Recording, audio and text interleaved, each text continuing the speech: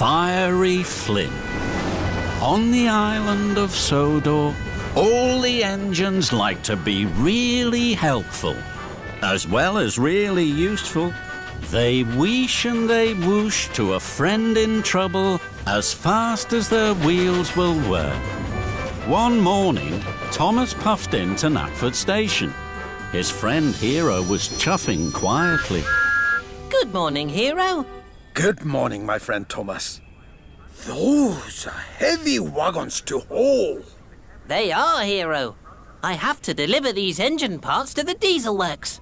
I'll huff and I'll heave. It won't take long. Just then there was a rattle and a roll. It was Flynn. What a fine morning it is, my friends. Thomas smiled. Thomas liked Flynn. Flynn was a fiery red fire engine. Flynn was fast and Flynn was fearless. Flynn was friendly and Flynn was fun. And he fought fires. Hello, Flynn. You look happy. Do you have a special today? Flynn flashed a smile. Every day is special to me, Thomas. I'm ready and raring to rescue. Now I must fly to the Sodor Search and Rescue Center.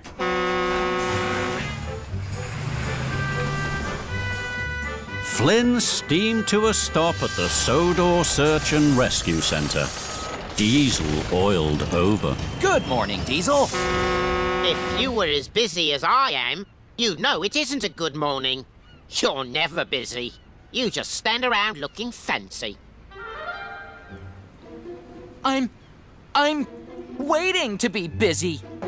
Just then, the rescue bell rang. Stand by, Firefighter Flynn!